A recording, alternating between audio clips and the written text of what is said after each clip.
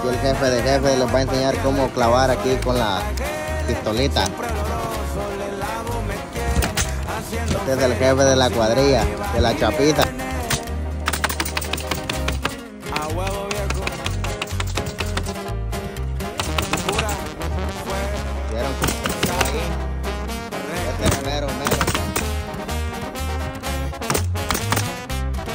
rápido, que un